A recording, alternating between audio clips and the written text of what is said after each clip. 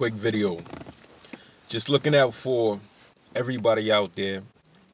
Go check in the app platforms and check out the stock or the cryptocurrency Dogecoin. Uh, ticker symbol D O G E. Dogecoin. I don't know what's going on right now, but I noticed that it's going up. I noticed it was only at like four cents, uh, six cents, seven cents, and it's a really good buying opportunity. Um, it was shooting up. It's a crypto, and um, I had I was up a significant portion based on the small investment that I had put into it. And so go check that um, right now in whatever platform you're using.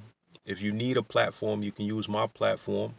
Um, you'll get a free um, stock, as some of you may know, um, if you click on my link and use my platform. But once again, just looking out for investors, um, particularly the little guy, the small time investors, don't know what's going on. But if this small crypto shoots up through the roof at a very, very small investment, like I said, it's less than 10 cents right now, then you definitely have the opportunity to capitalize um, and make some significant gains.